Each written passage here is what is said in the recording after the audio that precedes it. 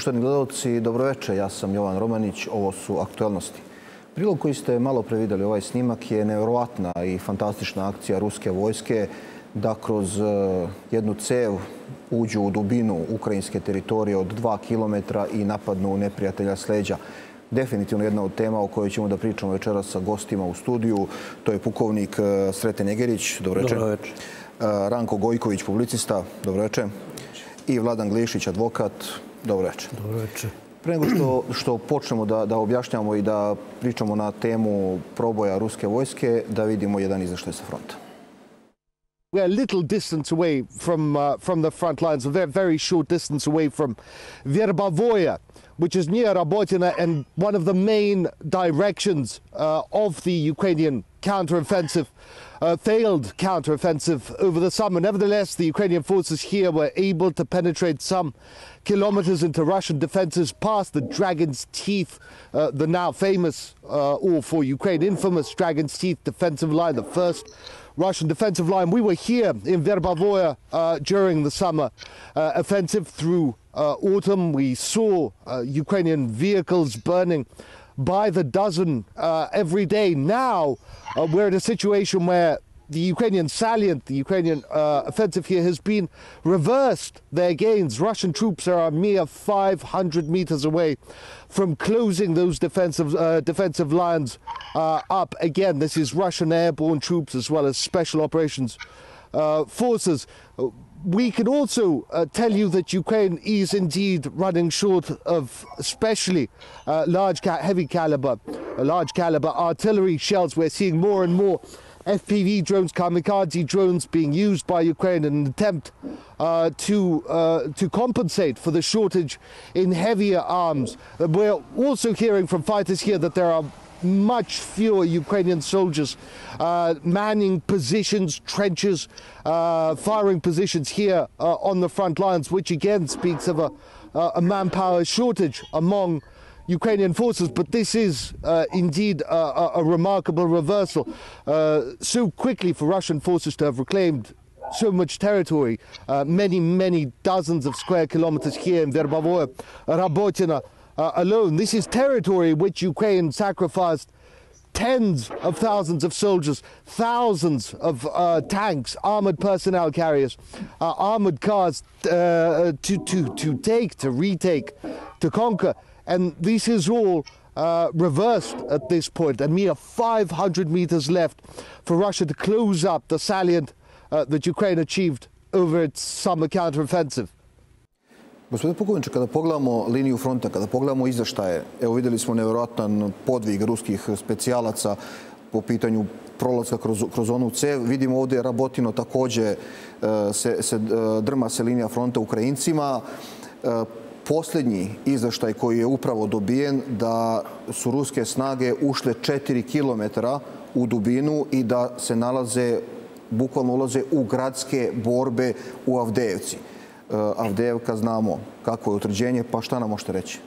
Pa počeli bi obično kao što vojnici počinju sa severnog dela fronta. U rejonu Harkova smo u toku prethodnih dana imali e, nekoliko nasilnih izviđenja od strane ruskih oružanih snaga koje su preduzimali sa snagama e, ojačane mehanizovane čete, odnosno motostreljačke čete, kako se to kaže u ruskim, ovaj, e, ruskoj terminologiji i podržane e, avijacijom e, kopnene vojske, to su uglavnom helikopteri. E, sledeće, bitno što bi ono reklo, borbe se vode na svim na svim delovima fronta je Kupjansk, gde su zabeležena određena taktička pomeranja u korist ruskih snaga i polako postepeno povlačenje i prepuštanje prve linije od strane ukrajinskih oruženih snaga ruskim, ruskim snagama. Najžešće borbe se vode kod Avdejevke.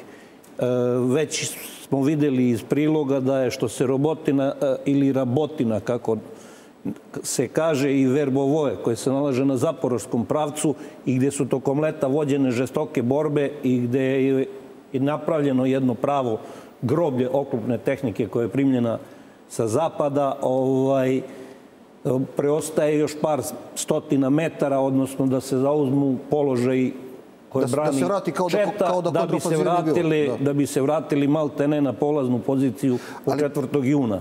Još bi samo napomenuo Krinki da se neprestano vrši dejstvo po e, iskrcanim snagama na levoj obali ovaj, Dnjepra i da se ne dozvoljava proširenje mostobrana, a uništavaju se sve snage kako na desnoj, tako i na levoj obali Dnjepra.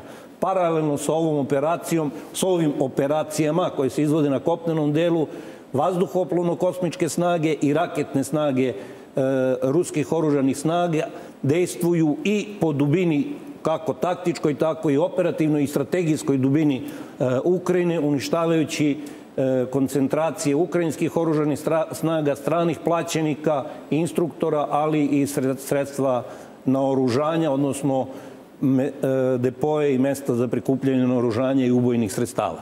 Najinteresantnija je Avdejevka, Evo, možemo ovo što ste da- vi da vidimo rekli. Ako mapu možemo Avdejevke. samo kartu Evo. da vidimo. U toku prethodnih dana je došla vest da su e, Rusi zauzeli carsko hotu ili carsko lovište. To je u stvari jedan deo predgrađa Avdejevke, južno možda za nekih kilometar i po dva od samoga grada i e, da su kroz određeni prolaz, kako rekao ste, cev, koja je otkrivena i nađena, uspeli da ubace u pozadinu e, ukrajinskih oružanih snaga jednu e, e, četu vojnika, negde oko 150 vojnika, koji su dejstvovali iz pozadine, odnosno sa leđa protivničkih snaga. To je dovelo do kompletnog pomeranja fronta i napredovanja na pravcu opitno je Spartak prema samom centru Avdejevke za oko 3,5 do 4 km, što znači da su svi položaji bataljona prve linije trenutno u ruskim rukama. Najkarakterističnije ili naj, da kažemo, opasnija ono što se može desiti je e, dejstvo jednog mehanizovanog bataljona koji je stalno stacioniran ovde u ovom devetom kvartalu, kako ga zovu. On je do sada ispoljavao uvek dejstva prema vodnom opitnom kada Rusi izvrše proboj.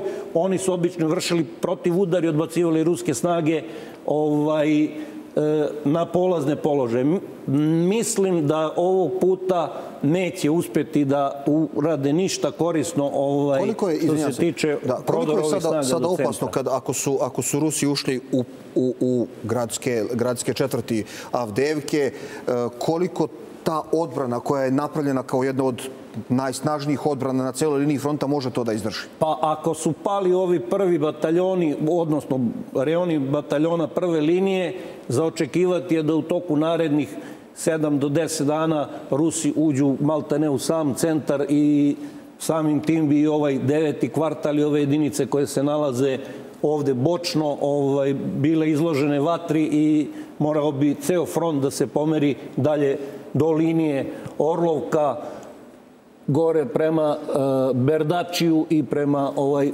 Petrovsku. Naravno, e, snage koje dejstvuju prvog armijskog korpusa, koje dejstvuju sa severoistoka, će verovatno pre ukrajinskih snaga doći do Berdačija.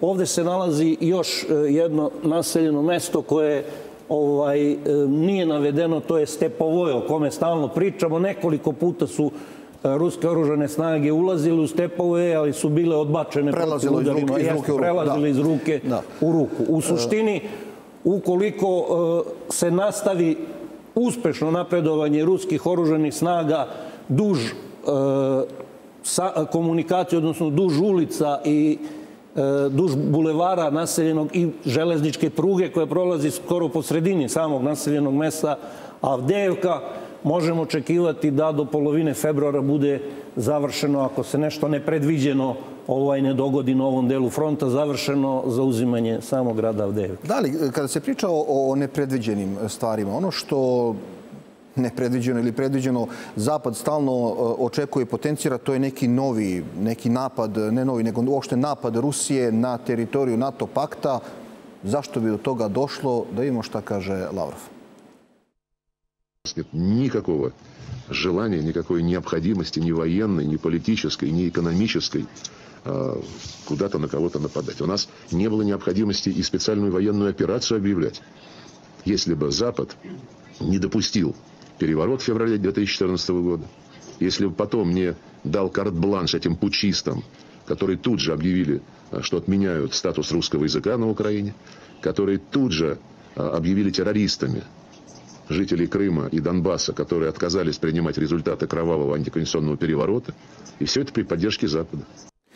E, stalno se posljednje vreme, pogotovo u posljednje vreme, potencijera ova priča sa, sa Zapada da će Rusi da napadnu Evropsku uniju, Evropu, NATO pakt. E, s druge strane, Lavrov, e, predsjednik Putin i svi ostali govore nemamo razloga da napadnemo i ne želimo to.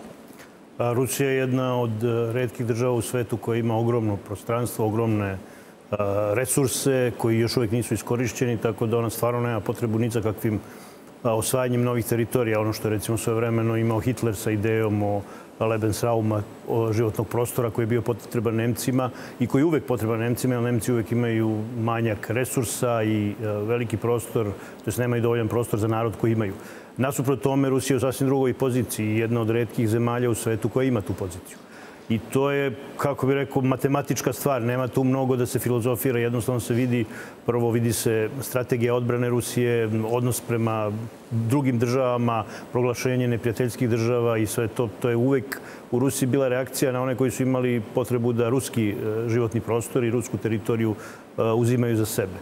S druge strane, prošlo je vreme potrošačkog modela društva. Prošlo je vreme čak ideologije ljudskih prava, jer je ona davala političkom zapadu razlog da interveniše u suverene zemlje pod, uslov, pod e, izgovorom da u stvari se trude da prošire ljudska prava, da raznim marginalnim grupama daju mogućnost da budu dominantne.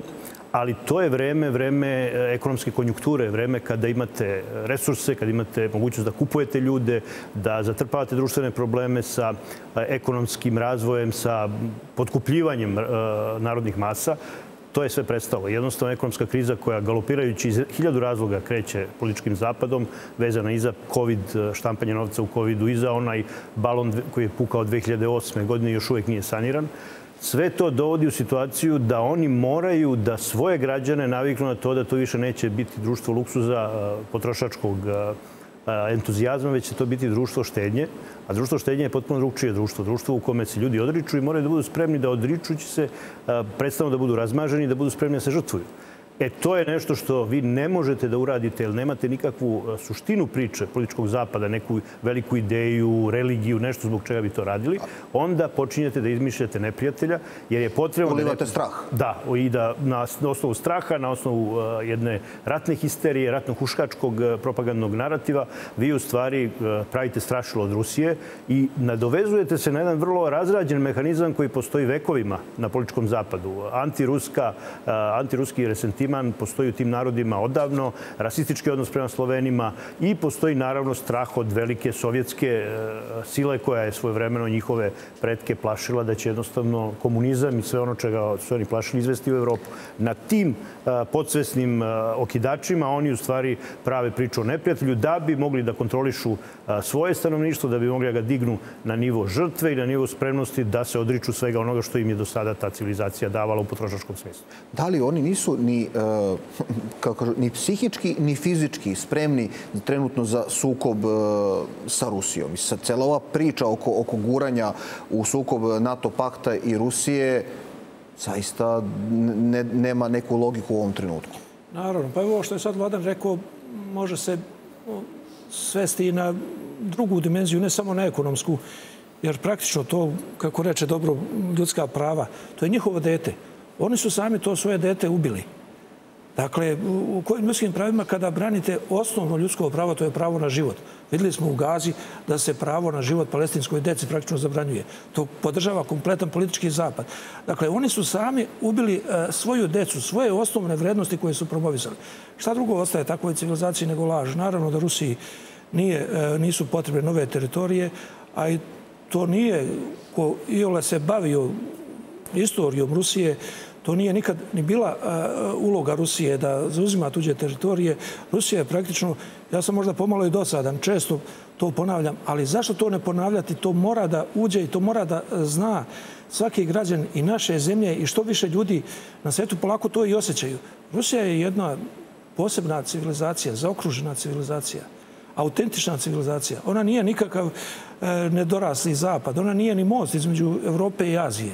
Rusija je jedna zasebna civilizacija, slava Bogu, mi Srbi pravoslavni smo deo te pravoslavno-slovenske civilizacije i Rusija nema nikakve potrebe za bilo kakvim osvajanjima.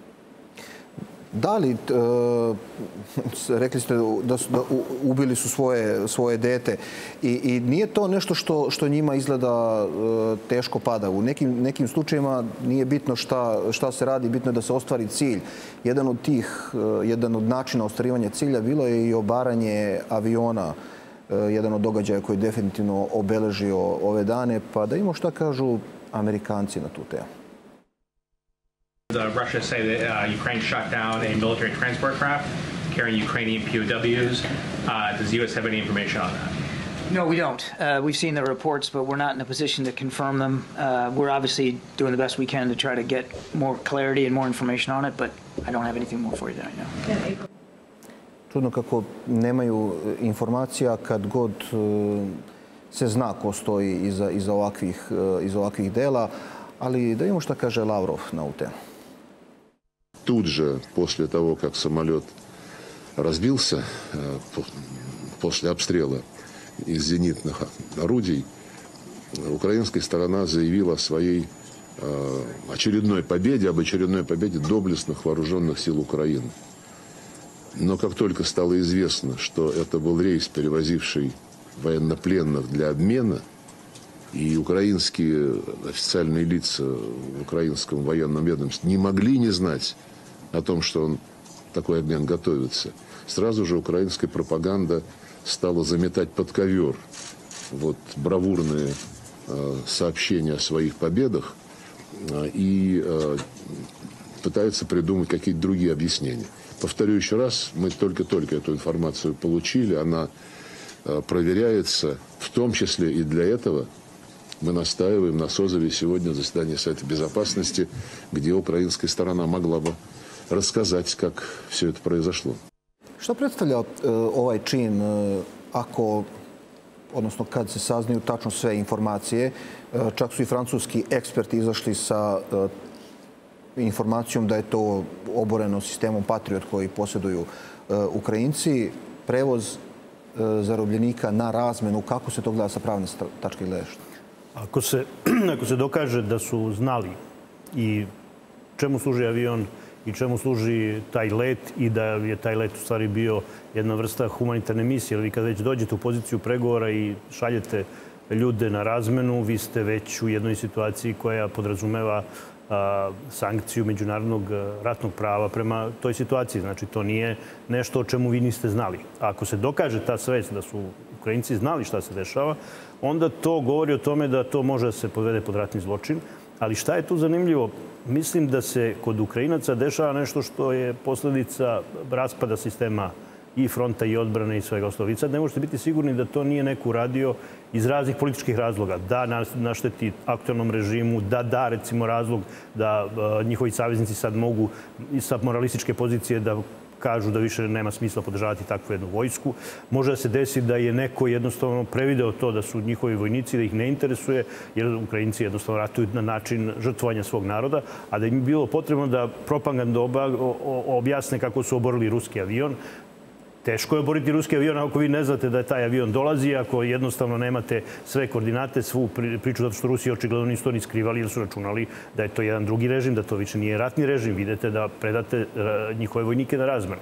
Tako da to govori o tome koliko je konfuzna cela ta ukrajinska priča i koliko već gube se konci, a nije nikada sigurno da to nije opet neka ideja nekoga sa zapada da dobije najzad izgovor zašto treba da se okanu Ukrajine, pošto oni vide da Ukrajini će se sve završiti tako što će to biti još jedan poraz NATO-a, a to oni sebi više ne mogu da dozvole. Mnogo je bolje da ispadne da su se oni povukli zato što su Ukrajinci postali nemogući, nego da jednostavno su pukli zajedno sa Ukrajincima. Koliko je sa vojne tačke gledišta moguće da sa jednim sistemom Patriot da se obori ovakav avion greškom ili, ili da to bude uh, samovolja jednog, jednog, jedne grupe vojnika ili onog vojnika koji upravlja tim sistemom? Prvo, u takvim sistemima ne upravljaju vojnici, nego podoficiri i oficiri. I to vrlo visoke, vrlo visokih činova. E, to je prva stvar. To moramo da razumemo. Drugo, koje, stvar koju treba da razumemo je da svaka raketa, ne mislim na komad rakete, nego na model, tip, ima e, svoj potpis kao što svaki čovjek ima svoj e, otisak prsta. I vrlo lako se može utvrditi sa kojim raketnim sistemom je pogođen avion. Vrlo je lako ako se radi o Patriotu, na kraju ako se radi o zastarelim sistemima čak druge i treće generacije. Transportni avion koji je dosta spori, koji predstavlja veliku metu, koji je pri sletanju, znači dosta e, u niskom letu, vrlo ga je lako pogoditi i oboriti. Uopšte ne predstavlja problem čak ni E, slabije uvežbanoj e, posluzi raketnog sistema. Ovo što je gospodin Glišić rekao, e, isto i ja smatram da je moguće više opcija i ukrajinskih i zapadnih, ali je interesantno da obaranje aviona dolazi posle prvog raketnog udara na Harkov kada su stradali e, francuski državljani, zvanično pripadnici e, legije stranaca, odnosno oruženih snaga e, francuske države.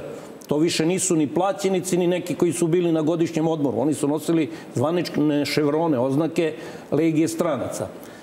Zatim je usledio njihov, njihov, kada kažem njihov, mislim da postoji tu i francuski potpis i da bi to trebalo i pratiti i taj trag, odgovor po Donjecku pogađanjem pijace i ubistvom, namernim ubijanjem civila.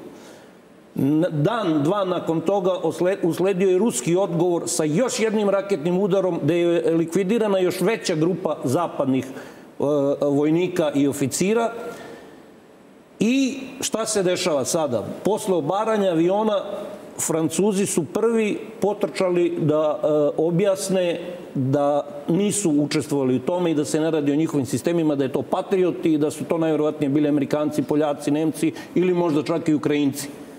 Ali šta mene još ovaj, inicira da izvedem ovakav zaključak? Pa Francuska je predsedavajuća Saveta bezbednosti Ujedinjenih nacija i odbila je da ovo što je gospodin Lavrov e, je pričao malo pre se postavi kao tema rasprave na sednici e, Saveta bezbednosti, odnosno obaranje, obaranje aviona. Ima tu mnogo zamešeteljstva, moguće su sve varijante, moguće su sve varijante, ali je e, jedna, jedno u suštini jasno, radi se o zločinu koji e, su već Ukrajinci izvršili prema svojim ratnim zarobljenicima, koji su bili bazirani u Lugansku i koji su pogodili sa Hajmarsima pre nekih 7-8 meseci. E, sad, da li su Ukrajinci rukovali raketnim sistemima ili ne, saznaćemo i to jednog dana.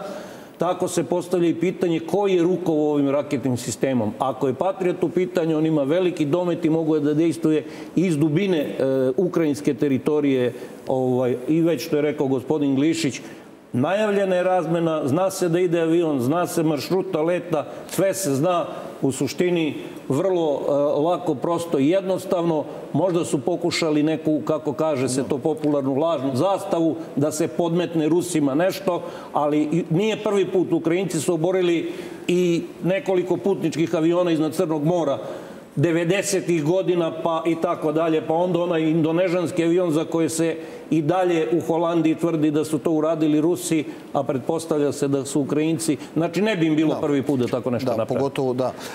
ali da vidimo još, da vidimo uh, da li Amerikanci imaju neke, neke nove informacije i šta će da urade kad se izađe sa pravim informacijama u javnost.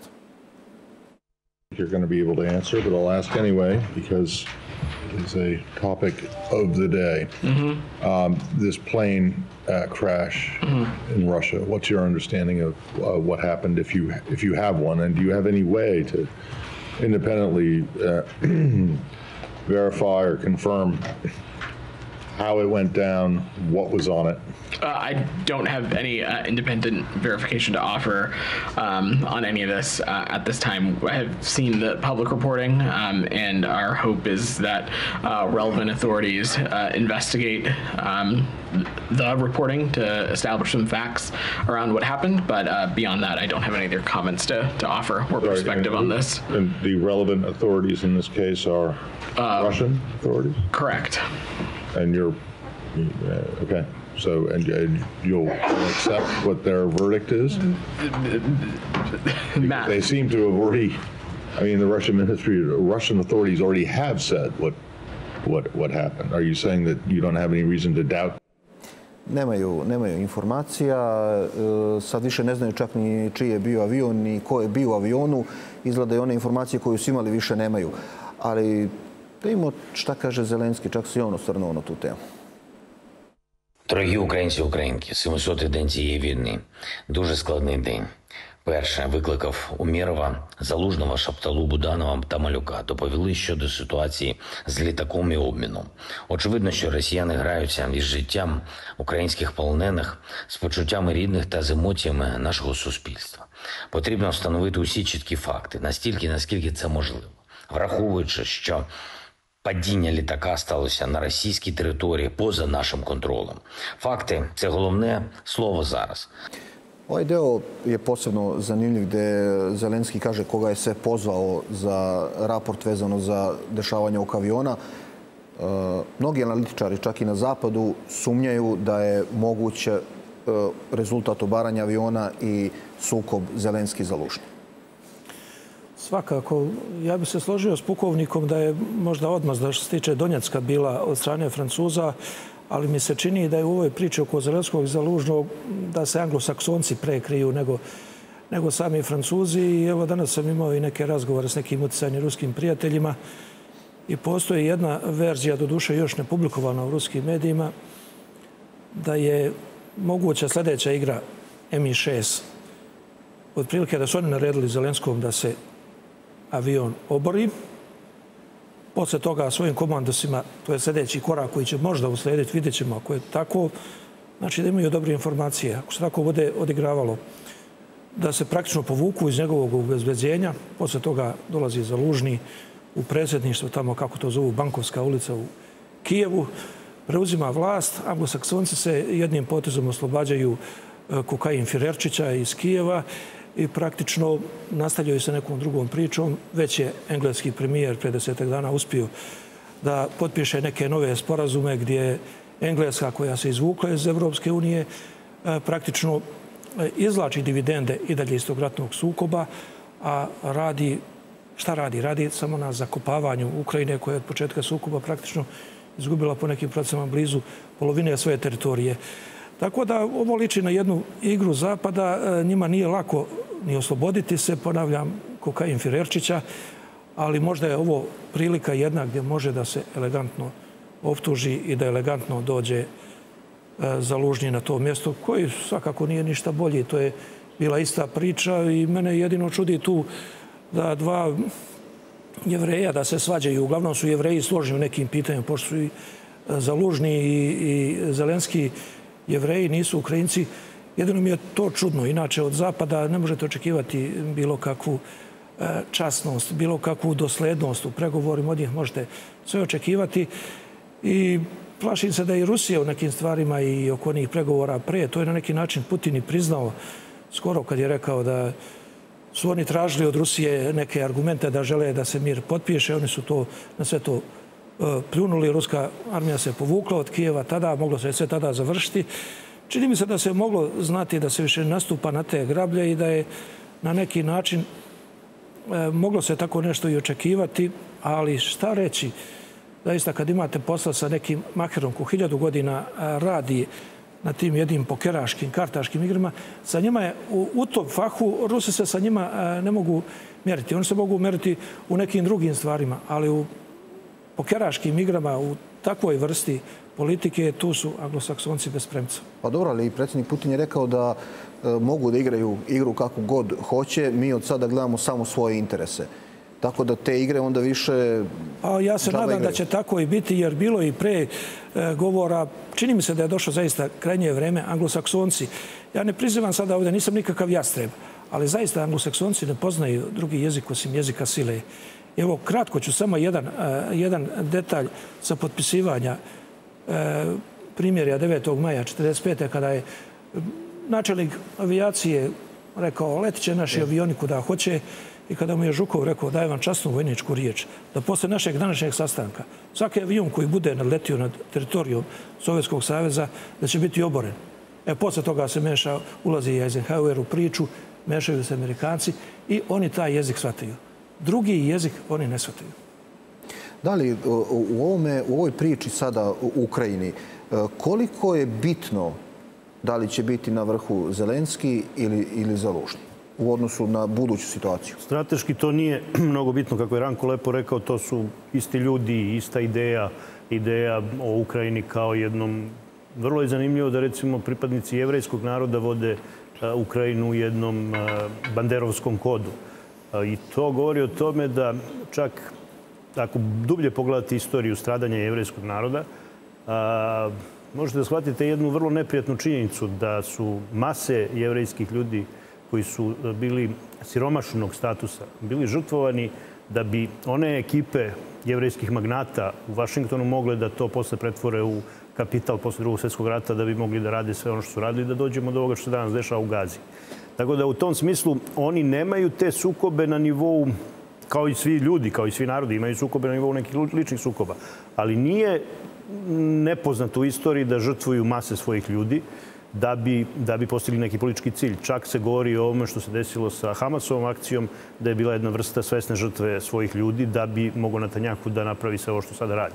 Tako da u tom smislu oni strateški nije bitno ko vodi tu celu priču, ali je vrlo bitno to da bagaž ovako propale borbe i svega ovoga što se desilo i toga što će neko morati da objasni ukrajinskom narodu šta znači to rat do poslednjeg Ukrajinca, šta znači uništena zemlja, šta znači raseljena, raseljeno stanovništvo, neko to mora da plati.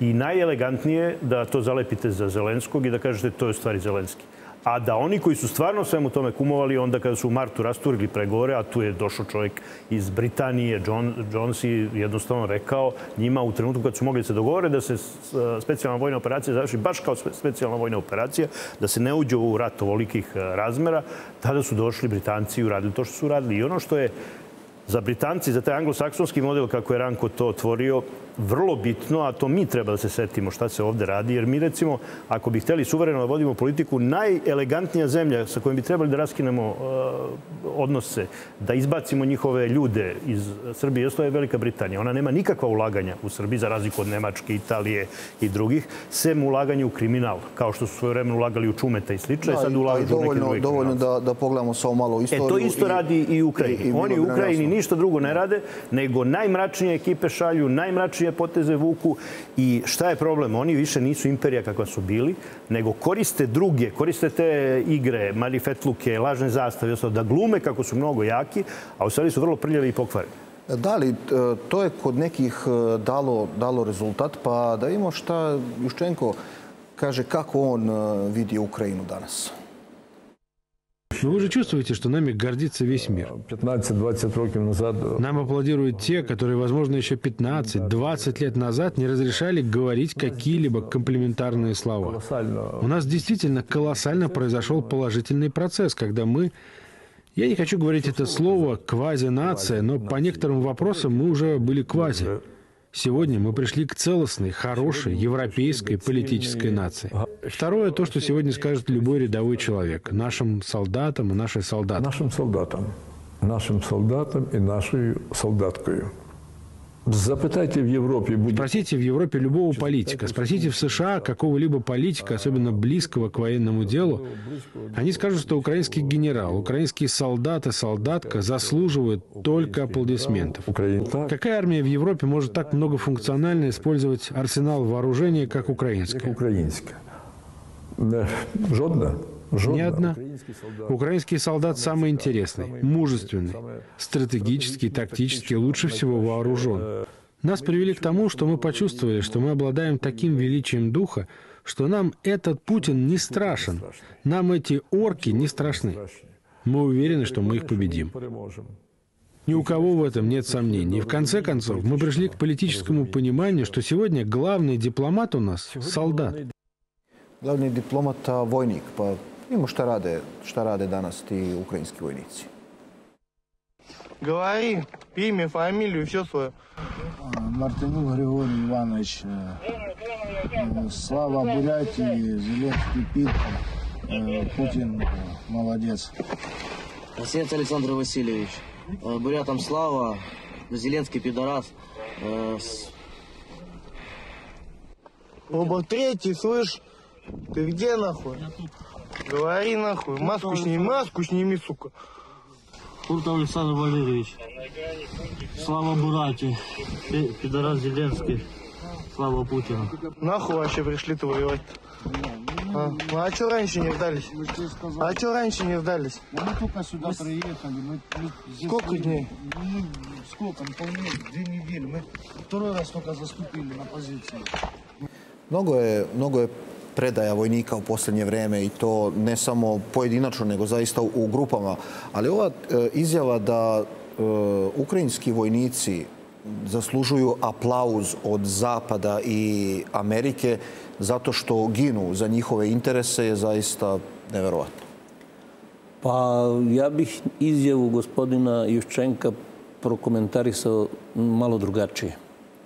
Prvo, e, ne smemo da ovaj, smetnemo sa uma i da zaboravimo niti da ni podaštavamo hrabrost i odlučnost ukrajinskih vojnika. Oni se bore već 700 dana protiv bar po američkim ovaj, e, izveštajima prve armije u svetu. To sad kažu na zapadu da je ruska armija prva armija u svetu po borbenoj sposobnosti.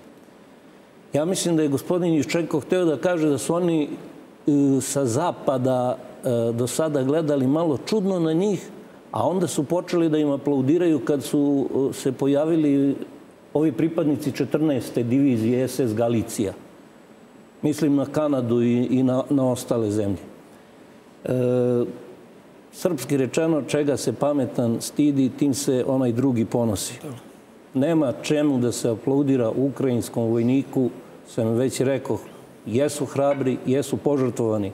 Šta su oni imali od te silne tehnike koju im je Zapad dao? Šta su iskoristili? A izgubili su sve živo što su dobili. Znači sve, sve samo e, evo jedan, jedan primjer. E, Od sovjetskog naoružanja i od naoružanja primljenog sa svih strana sveta, od Japana do Kanade i od Kanade do Argentine, oni su u svom naoružanju imali 64 modela oklopnih borbenih vozila. A to treba znati upotrebiti. A da ne pričamo o, o snabdevanju municijom i čudimo se zašto nemaju municije, zašto nemaju ovo, zašto nemaju ono.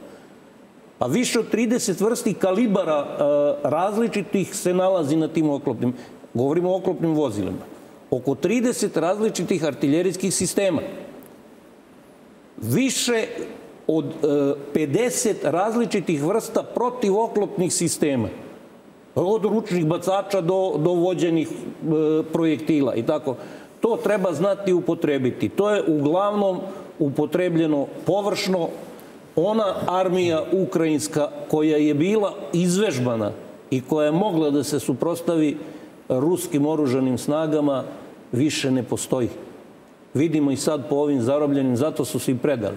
A šta radi sad ova armija? Da li ona možda kupuje vreme Ova zapadu, armija, NATO paktu? nažalost, upravo baš ste dobro rekli, ova armija uzalud gine kupujući vreme za gospodina Pistoriusa i e, gospodina Maršala, zaboravio sam u ime engleskog načelnika generalštaba, koji svojim e, nenormalnim izjavama obećavaju svom narodu, nemačkoj naciji i britanskoj naciji, da će e, u budućnosti ratovati protiv Rusije.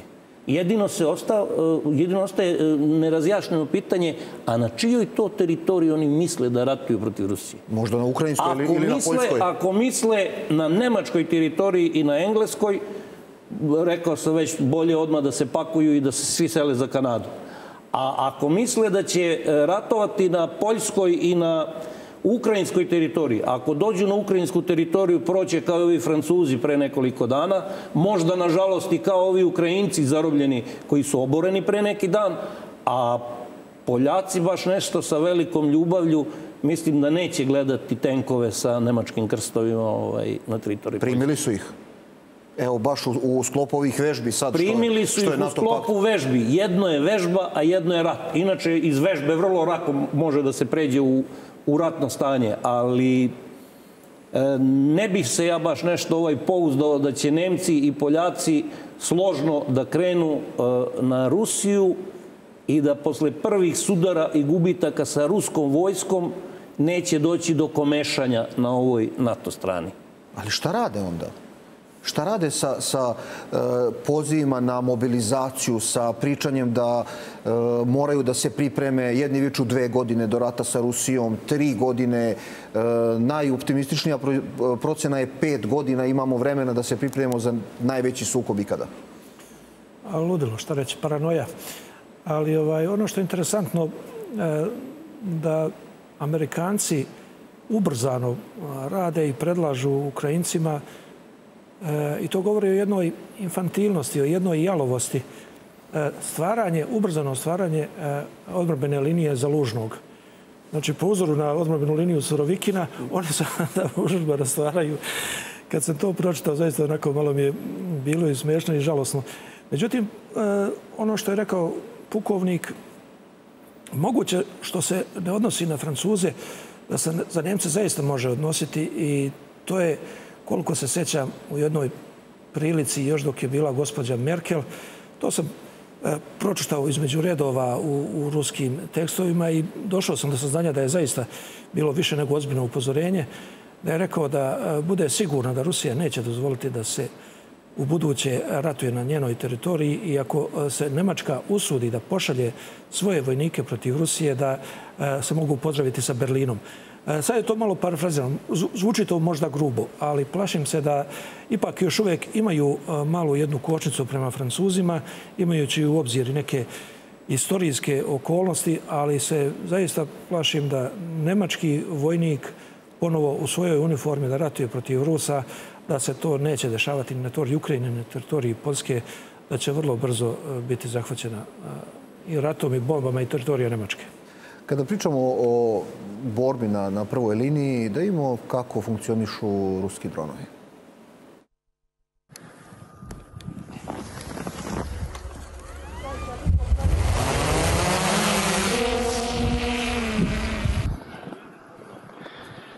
Пошел! Смотрите!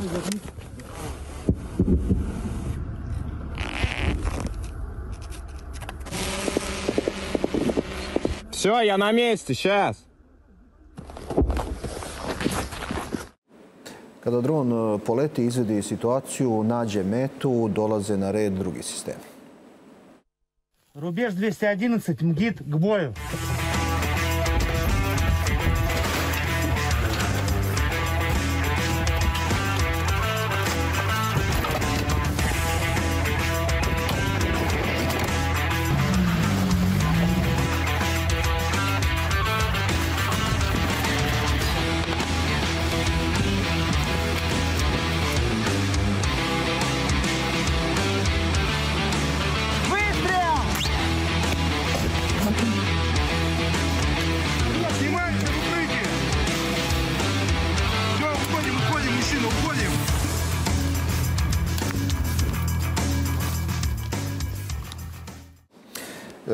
Ruska vojska, evo kao kaže i pukovnik Egerić, prva vojska u svetu, e, pogotovo posle ovih sukoba, naravno najiskusnija, najspremnija.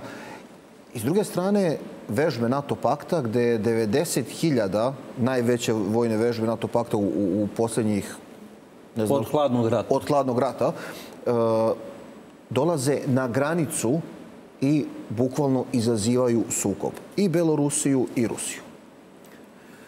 Pa ja mislim da pored tih provokativnih e, namera imaju jedan drugi problem. Oni moraju da uigraju tu vojsku.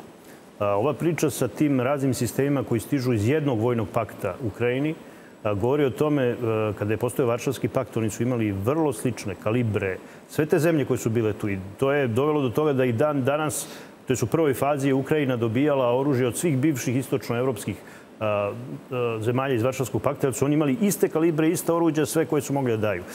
Postavlja se pitanje kako je NATO mislio da pravi jedan sinhronizovani vojni pakt koji će imati mogućnost da deluje kao igrana ekipa, ako je svako od njih imao svoje kalibre, svoje oružja i oruđa i ostao, a o čemu se radi? Radi se o tome da je problem, i to je najveći problem zbog čega sad vojna industrija, ako uopšte hoće Zapad da se prepakuje na tu vrstu ratnog razmišljanja i ostalo, trebaju im godine da oni svoju vojnu industriju učine efikasnom, kao što je recimo kineska, ruska, pa na kraju indijska. Zašto? Jer je potpuno drugi koncept društva. U Rusiji, pa i u Kini, u svim tim zemljama, država je iznad kapitala, profita i svih tih stvari. Zato što se zna da je država ta koja treba da štiti čoveka. Nasuprot tome, priča o zlatnom teletu u duhovnom smislu je priča o tome da na zapadu političkom profit, kapital, korporacije su najvažnije. I onda, naravno, oni su se u stvari u vojnoj industriji nadgornjavali, pumpali cene, jedni druge, kako bih rekao, u utakmici za tržište potiskivali, ne razmišljajući da će jednog dana njihovi vojnici morati zajedno da nastupaju sa različitim oruđima i oružjima. I cela ova priča u stvari pokušaj da oni njih na neki način pripreme za to da koliko toliko budu usvirani orkestar. Da li će oni to biti, to je veliko pitanje. Ova priča o Rusiji kao ruskoj vojsci, kao vojsci koja je najjača u svetu, to je više potpuno neupitno. Svako ko zna koliko je potrebno da vi jednu jedinicu uigrate da bi uopšte mogla da nastupa kao jedan ozbiljan tim na terenu u vojnoj, u vojnoj formaciji, zna koliko vremena tu treba. Znači, sve što je Rusija imala i žrtava i sve što je radila u ovom ratu je ostao onaj u astronomskoj prednosti u odnosu na politički zapad i na vojske koje nisu uopšte ratovale. E sad, šta je problem u svemu ovome i tu moramo da budemo svesni ovoga što je pukovnik rekao vezano za ukrajinsku vojsku i za ovo vaše prethodno pitanje. A, Srbi imaju veliki problem i u odnosu sa Rusijom imamo problem što mnoge stvari su nam mnogo jasnije nego njima. Jer smo mi bili ti koji smo primali mnogo pre njih te udare. Na nama su izvođeni eksperimenti, a mnogo pre toga ono što je Sovjetski savez zataško u istraživanju fenomena i monstruoznosti banderovskog pokreta, jer je takođe zbog njihove priče o maltene njihovoj vezi bratstva i jedinstva, što se i kod nas desilo na neki način. Ipak smo mi 90. godina, znači mnogo godina pre njih, tu maglu raščistili i bili svesni toga da je Ustaška vojska bila jedna od najboljih vojski. Da Ustaše nisu pozivali na predaju, su znali da su Ustaše ne predaju. Znači, ta vrsta mržnje sa kojim sada oni pričaju kako Zapad aplaudira Ukrajincima, pa Ukrajinci nisu napravili naciju na svom identitetu, nego na anti-Rusiji, na mržnji prema Rusima. I mi znamo taj model. Ta priča sa ustašizacijom Ukrajine, sa tim pričama da su oni spremni da ginu za to zašta, da stvore budućnost svog naroda, ne, nego da ubijaju Ruse. Da unište bukvalno... Da unište ruski narod. A to šta govori? Pa naravno da je takav fanatik i ludak naj, najopasniji vojnik. Jer on iz mržnje je spreman da ide do kraja. Znači čovjek ne razmišlja o budućnosti, o životu i ostalo, nego razmišlja o mržnji. Zato je ukrajinska vojska bila opasna. Ali koja je ukrajinska vojska? Ona koja je već izbačena iz stroja. I sada se dešava ono što smo takođe mi u istoriji videli. Ni domobrani nisu bili vojska za pocenjivanje u vreme kada su verovali da će Treći rajk da pobedi, kad su verovali da su oni uspešni. Međutim, od Kurske bitke od 1943. kada su dobili preko svih svojih, preko Vatikana i drugih ovaj, podatki preko Tita i preko partizanske linije da je Hitler pukao, onda odjednom domobrani postaju oni iz onih partizanskih filmova koji odmah bacaju puške i ostalo. Kao i ovi ukrajinski vojnici. Znači, sada im je ostala ona struktura koja više ne veruje u njihovu priču. Oni koji su banderovski, neonacistički nastupili u početku i kad su bili najopasnija vojska, tih više nema. I to je problem za sada za Ukrajinu. E sad samo je, naravno, Ukrajina dovoljno velika. Ima i ona je vojsku iskalila u ovim ratovima ostao da može da kupuje vreme i da gine i da joj prodaju priče. Na kraju kraja kad čovjeka pokupe sa ulice i gurnu ga tamo i neobučenog i ostao, on jedino može da se nada da će se što pre predati Rusima. A i ovi napadi na ovaj avion, pa napadi na ovaj zatvor u kome su bili njihovi zarobljenici, ostao, to je poruka onima koji se predaju da će ih oni ubiti i kada ih budu pod zaštitom međunarodnih snaga. Da li cela ta priča o ukrajinskoj vojsci, o, o nastavku borbe, zavisi naravno od municije, koja je u poslednje vreme veliki problem, pa da imamo šta kažu Poljaci. Hoće li biti municije za Ukrajince? Dzisiaj widzimy, że to jest najbardziej krytyczny fragment, jeśli chodzi o kwestie te logistyczne y, wojny ukraińsko-rosyjskiej. Y, każdego dnia słyszymy to wezwanie, ten apel, dajcie nam więcej amunicji. Od tego prawdopodobnie będą zależały losy wojny, ale będzie to także przedsięwzięcie o charakterze y, komercyjnym. Nie chcę żeby to zabrzmiało, wiecie, jakoś tak zbyt pragmatycznie, ale strona ukraińska dobrze rozumie i byłem tutaj może nie zaskoczony, ale z satysfakcją przyjąłem deklarację ze strony ukraińskiej, że absolutnie rozumie, że Polska może i będzie pomagała Ukrainie także poprzez sprzedaż broni i amunicji. Będziemy chcieli pomóc, ale równocześnie na przykład także poprzez organizowanie kredytu, ale gdzieś na końcu Polsce ktoś musi zapłacić za to, co będziemy produkowali, co będziemy przekazywali w ramach naszej współpracy obronnej z Ukrajiną. No, počinje sada da, da, da, da izlazi sve na video, kako je rečeno, municija može, sve može, ali mora neko da plati. Ukrajina novca nema. Zapad novac više ne da ko će da plati novu municiju i, i šta je sljedeći korak? A videli smo da ovaj, gospodin kaže da će to biti sve rešeno putem kredita. Znate, vi kad dignete kredit, vi morate da nešto založite kao neku hipoteku. Neku garanciju. Neku hipoteku morate da založite. Ukrajinci su založili celu državu, još im ostaje samo založe svoje glave. Tako da Poljska se nada verovatno da delu teritorije mi ćemo vama municiju, a vi ćete nama Lavov i Lavovsku oblast. A kako Lavov ako će predstavnica Ukrajine biti premeštena u Lavov? Koje Ukrajine? Šalim se malo. Ovaj, pa može biti predstavnica Ukrajine u Lavovu, ali to će biti autonomna oblast u okviru Poljske malo, što kaže, šala u ozbiljnoj emisiji, ali vrlo je moguće da pa bude ne, nije i tako. šala, sve su ovo, da, sve su ovo vrlo, izjave vrlo koje je su moguće, Vrlo je moguće da bude i tako. E, vidim da su se Poljaci posle dve godine setili da mogu da kreditiraju Ukrajince. Do sada su im sve davali u suštini ne naplaćujući, čak upućujući i svoju aktivnu vojsku iz 16. i 18. divizije koje su imali. Jedna je stacionirana prema Belorusiji, a druga prema Ukrajini. Ovaj, oni su učestvovali i takođe u aktivnim dejstvima, čak i u samoj kontraofanzivi protiv ruskih oruženih snaga. Postoji ideja čak da počne proizvodnja zajednička, da Ukrajinci u onim oblastima u kojima koji oni drže pod kontrolom eksploatišu određene resurse, da to upućuju u Poljsku, a da Poljaci proizvode ovaj ubojna sredstva i da to ovaj isporučuju Ukrajini. Ako nije ceo zapad u mogućnosti da proizvode ni nesrećni milion granata o kojima se priča već mesecima, ne znam kako će uspeti Poljska, ali verovatno su Poljaci, kao što rekoh, videli mogućnost da nešto zarade, da učare deo teritorije, kako se to narodno kaže, i da izvuku neku korist iz ovoga rata, jer su primetili da su kola polako krenula ni za stranu i da se najverovatnije više neće ni zaustaviti. Samo je pitanje ko će koliki deo tog kolača koji se sada zove Ukrajina da uzme za sebe. Da li je Zapad u, u celoj ovoj priči podcenio mogućnosti i sposobnost Rusije ili ih je prosto bilo ili im je bilo nebitno već samo da se izazove sukob?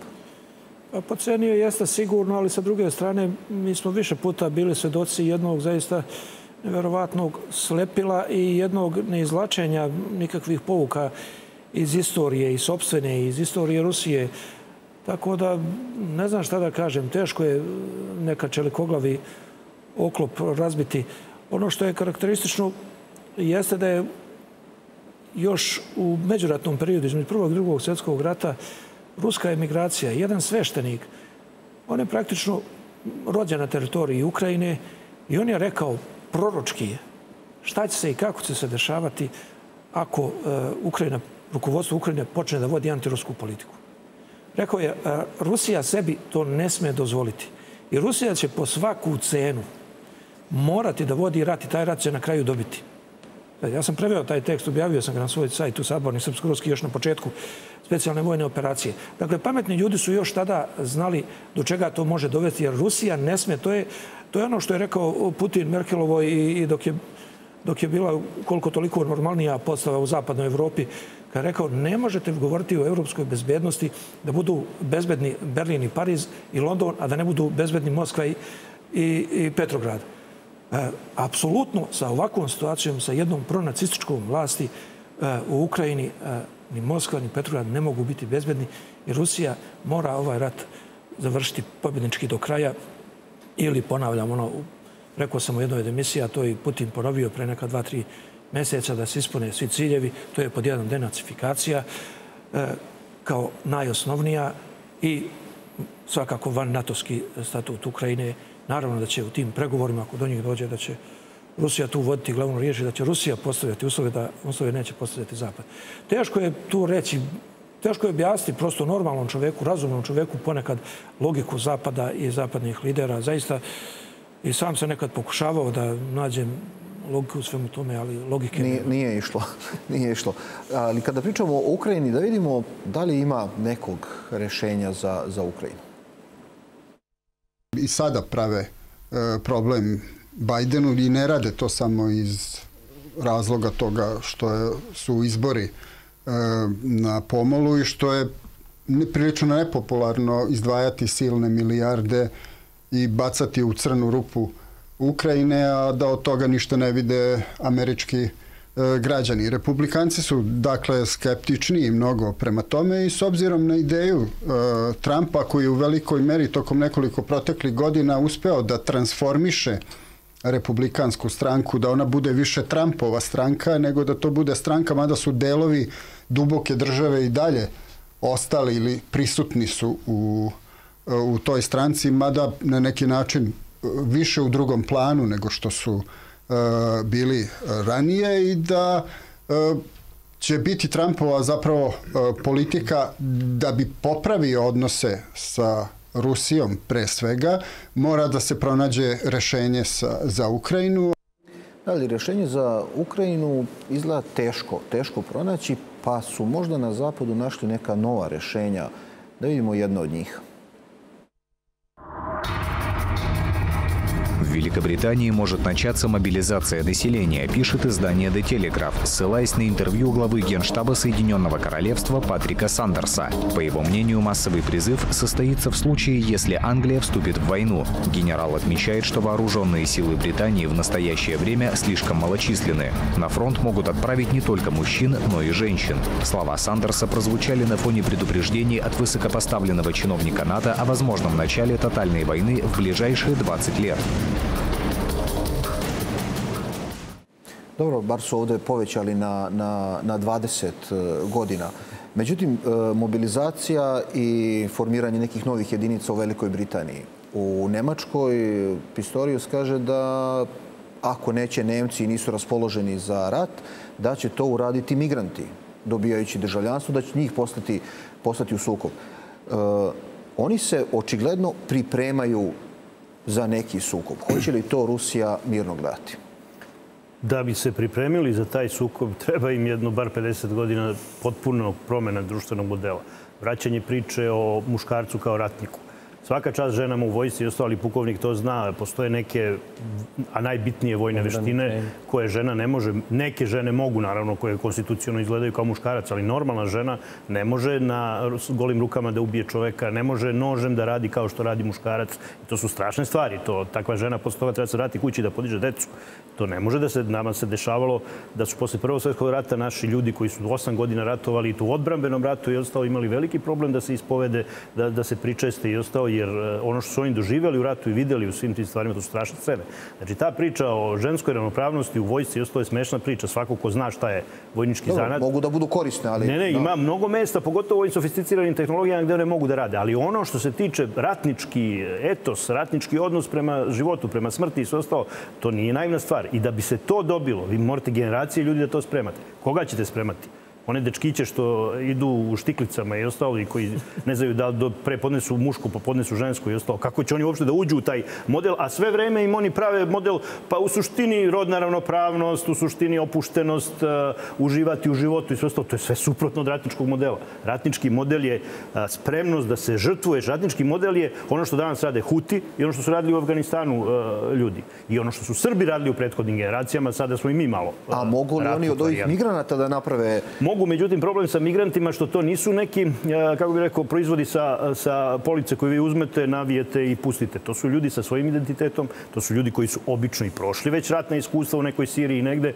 To su ljudi koji imaju svoj vrednostni sistem. Samo ih vi, gospodo, naoružajte, pa ćete vidjeti naš će vam liči zemlja kad se oni vrate sa fronta ili možda i ne odu na front, što se često u istoriji dešavalo. A, istorija Rima u svojim posljednjim fazama je situacija da ste vi naoružavali ljude koji nisu pripadali vašem civilizacijskom kodu, pa se desilo da zapadni deo Rima je nestao zbog, zbog takvih ljudi. E sad, šta je tu stvar? Zašto oni ovo rade? Ja ne verujem da se oni spremaju. Njima bi trebala, znači, radikalna promena društva na koju nisu spremni, jer ta radikalna promena društva, da su na to spremni, pa onda bi sa Rusijom razgovarali o miru, a ne o ratu. Jer radikalna promena društva znači potpuno drugi model. Ukidanje ženskih prava, ukidanje dečjih prava, jer morate napraviti porodicu kao jednu ćeliju koja pravi strukturu kičme tom muškarcu i onome ko treba da bude vojnik. Oni to neće raditi. Ali šta hoće? Oni hoće da histeriju podignu u društvu, pošto počinje da im se osipa podrška u smislu problema u Nemačkoj sa poljoprivrednicima, u Francuskoj, u Poljskoj. E sad treba im kažu, ljudi, Pa ako ne budete davali pare da Ukrajinci neki ginu i sutra Poljaci i tako ne, pa onda ćete vi morati da idete da ginete. I to je u stvari podsvesna poruka da dignu strah u svom društvu, da ovi kažu dobro, dobro, jeste, bolje onda da ostane malo bez para i sve ostalo, nego da me onaj obuče uniformu, pošalje tamo da me neki Rus iskasapi. Dobro, ali taj, taj, to što sada pričate, ta ideja da tako funkcioniše, to ne može traje dugo. Neće, naravno, neće predsjednik naravno. Putin da, da vodi ovaj sukob sljedeći 20 naravno. godina. Pa da... I ne samo predsjednik Putin. Otvara se priča o Kini, otvara se priča o nekim drugim zemljama. Na kraju krajeva, kad se oseti da ovaj veliki gospodar američki više nema snage da udari svuda po svetu. Pa znate koliko ih u Latinskoj Americi čekaju narodi da se oslobode njihovog, njihovog knuta i pa svega. Pa i tu je problem sa migrantima. Pa svuda, svuda. Jednostavno, ceo taj koncept koji su oni zamislili se raspada na njihove oči. Oni još uvek propagandno pričaju kako oni sve drže pod kontrolom. Pri čemu? Moramo da budemo i mi svesni. Kao što i ukrajinski koncept ustašizacije dovede do toga da je Rusija morala se bavi, evo koliko dugo još uvek nije završila taj posao. I uh, cela ta uh, debela strina koja se zove Evropa, koja je 500 godina pljačkala narode i pravila volane slanine oko sebe, ima dugo da se topi. I neće tako lako sve to da se desi. Ali oni više ne mogu ništa da konstruišu. Oni samo mogu da dobiju na vremenu i da se polako raspadaju i da ih oni koji dolaze vitalni narodi sa jasnom idejom, sa spremnom da se žrtvuju, da ih čerupaju i da to razbijaju. E sad je samo pitanje, kada vi tako postavite stvari, ovo što je vrlo zanimljivo, Saša Adamović je jedan od naših najboljih poznavalaca i Trumpovog pokreta i odnosa u Americi. Trump nije nikakav svetac ali Trump je pokušaj tog starog kapitala koji proizvodi realne, realne proizvode, koji se bavi energetikom i ostalo, da objasni ovom novom kapitalu koji je potpuno poludao i ovo što Ranko kaže, nema više racionalan odnos prema odnosima snaga. Ta priča, Silikonska dolina, ovaj, virtuelni svet, društvene mreže i ostalo. Novac koji ne postoji. Novac koji ne postoji. To je u stvari ono što u našim bajkama postoji ti čarobnjaci koji se igraju sa nepostojećim vrednostima, koji se sve opsenare. Ali je problem što ti ljudi poveruju to. A veliko je pitanje koja je njihova duhovna osnova. Ako je njihova duhovna osnova satanizam, što verovatno može da bude, pa oni su opasnosti za Amerikance i Trumpov pokušaj da se sve vrati u real politiku, jer se kaže, dobro, svesni smo da više ne kontrolišemo svet, ali ajde da se dogovorimo. I to je njegova poruka kako bi on sa Putinom napravio dogovor. Dogovor dva partnera koji kažu ili smo na brodu koji će potonuti ako se budemo tukli ili ćemo napraviti neki modus. Ili pričamo pa se dogovorimo. Da. Ali kada pričamo o kolektivnom e, zapadu, imamo uh, Tobija Selur šta kaže gde je kolektivni zapad trenutno. Been too complacent. What's coming over the horizon should shock us. It should worry us, and we are not uh, prepared. We've had a couple of decades, three decades or so since the Cold War. Life has gone well. It's now going to get more difficult as authoritarian states exploit our timidity, our perhaps reluctance to really put fires out. And the best example of that is uh, a democracy on the on the uh, corner of Eastern Europe that, in its third year, is now uh, in conflict, and we've not resolved that. So it is a 1939 feel to the world right now. These authoritarian states are rearming. Uh, there's a risk averseness about uh, the West in wanting to deal with that. And uh, institutions, global institutions such as the United Nations, um, aren't able to uh, hold these errant nations to account. In fact, the UN, I'd go further, is reaching its League of Nations moment unless it's reformed. So that's where the world is heading. We need to wake up to that. There's a mindset now of this era of insecurity uh, that uh, we're heading towards. The world is no longer uh, at peace. We're moving to a world at war. Britain absolutely has a role to play, but we need to upgrade our defence posture. Tobija Selud je e, predsjednik odbora za, za odbranu i vidimo da on govori da se svet nalazi u 1939. Međutim, e, Emmanuel Todd, francuski istoričar, se ne slaže sa njim. Théorie, euh, je dirais, militaire russe a changé. Euh, la Russie était un pays euh, euh, dont la population croissait très vite, qui était prête à sacrifier des hommes. C'est ce qu'elle a fait pendant la Deuxième Guerre mondiale. Soit dit en passant, elle nous a sauvés en faisant ça, bien que ça ait été le stalinisme. Maintenant, la doctrine militaire russe a changé. Ils disent, si on regarde les masses démographiques et militaires, on est tout à fait inférieur à l'OTAN. Il est, et il est une, agression ou une attaque de l'Ouest par la Russie est tout à fait exclue. La doctrine militaire russe, elle est purement défensive. Mais j'espère que nos gouvernants sont au courant ou à jour sur la doctrine militaire russe actuelle. La doctrine militaire russe actuelle dit que, compte tenu de la supériorité en masse d'hommes, de démographie, etc., des pays de l'OTAN, si, le territoire, et, si, si la nation et l'État russe sont menacés, nous nous autorisons à des premières frappes nucléaires tactiques.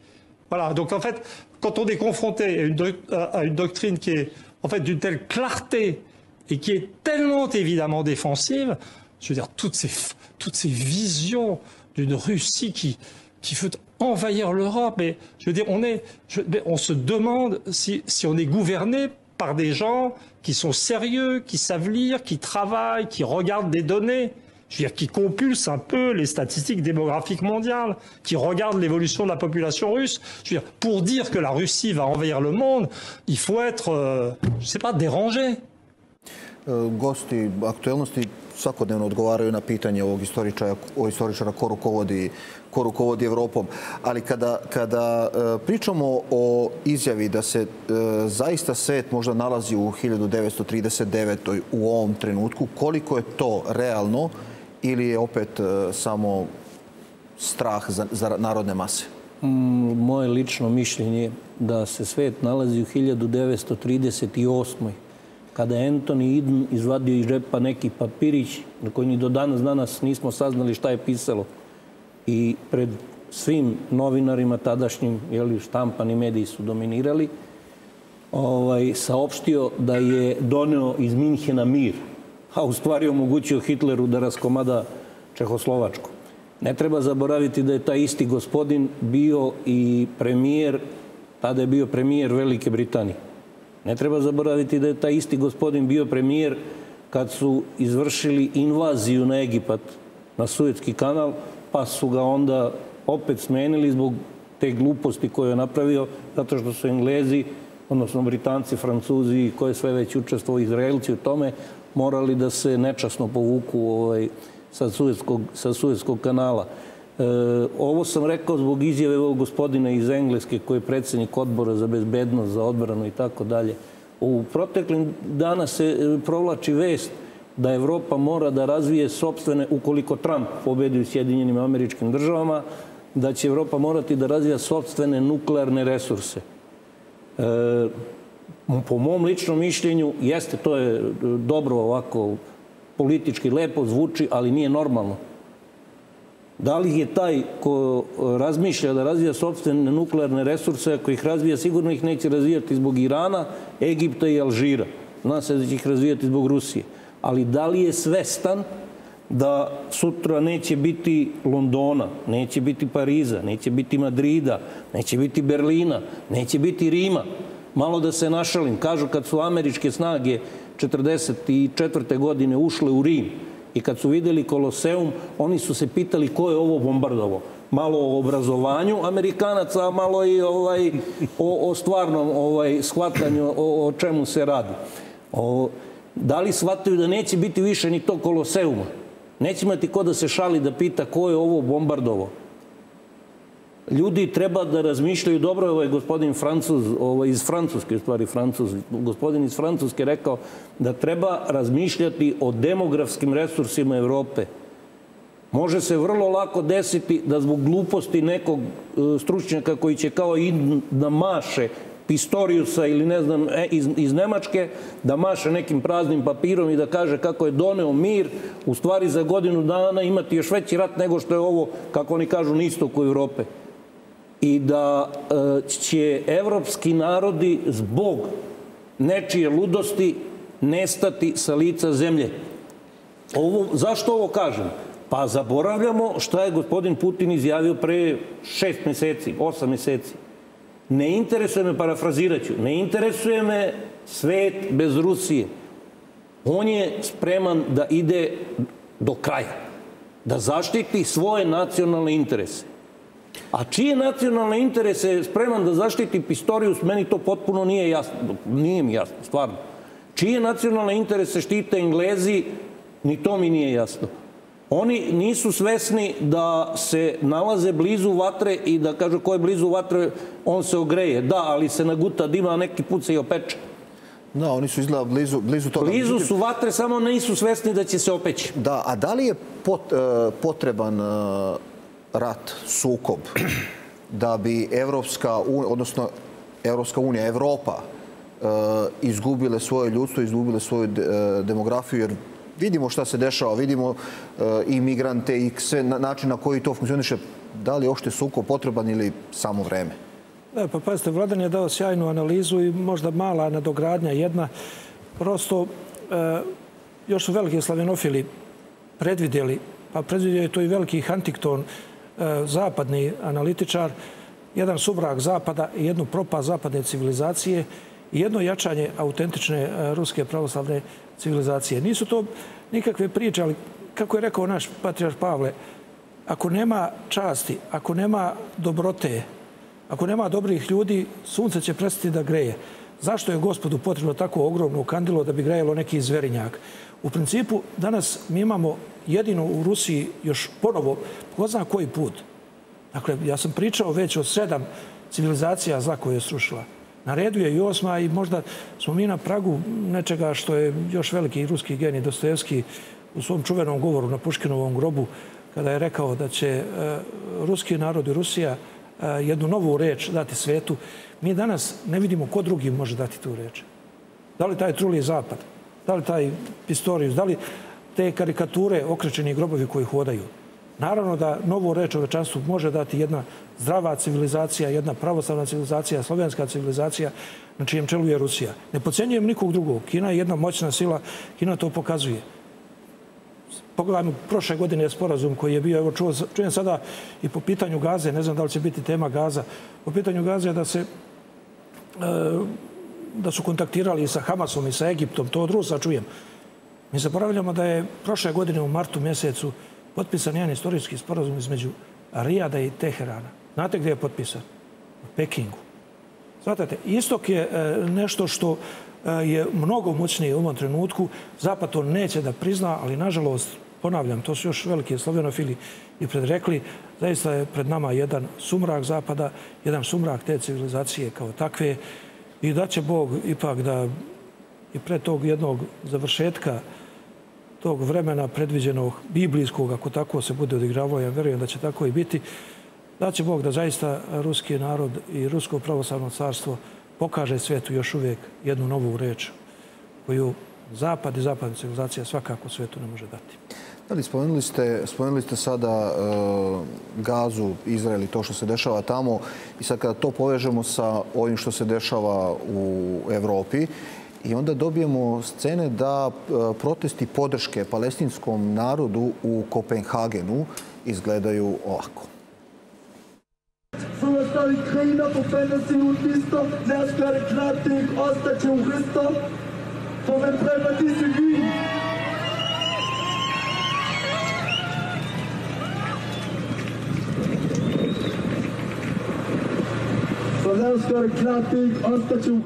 Ovo je samo, uh, samo scena iz Kopenhagena. Ovo se dešava u svim drugim gradovima po Evropi, po, po Britaniji. Ogromni su protesti, na stotine hiljada ljudi izlazi. Uh, jasno je ko su oni, odakle su došli. Međutim, kada pričamo o uh, Izraelu, o situaciji celoj, da imamo šta Clark Daly kaže na to, uvek ima poprilično oštru retoriku. Despite the catastrophic death toll it has inflicted, Israel is losing on the ground and in the court of public opinion. There's no way that this ends that doesn't leave Israel a pariah state with occupation and apartheid on borrowed time, and they know it. So they're doing everything they can. Desperate acts of aggression to provoke a wider conflict with Lebanon, with Iran, with anybody to draw in the US, to save them from the consequences of their own actions. And as Yemen shows, Butcher Biden is reporting for duty. With Europe's proud genocide by his side, they are the ones who have enabled the continuation of Israeli terror. Without them, it would already be over. So take note, Butcher Biden. The ancestors of the Ireland that you claim to be from disown you. Keep our country out of your mouth. And as for von der Leyen and genocidal Germany with your words and deeds supporting Israel in the ICJ, not in our name. The people of Europe stand with Palestine and with South Africa. Oštra retorika Claire Daly u, u Europskom parlamentu vezano za dešavanja e, još uvijek izgleda mnogima u, u svetu nije jasno pozadin toga što se dešava Izrael-Palestina.